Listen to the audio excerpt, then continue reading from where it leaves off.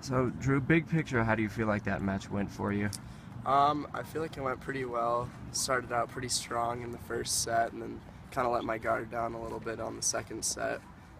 And uh, I just had to power through it to take the win. What do you think your opponent did better there in the second set? Um, he definitely was hitting to my backhand and using a little bit more power and shot placement for sure.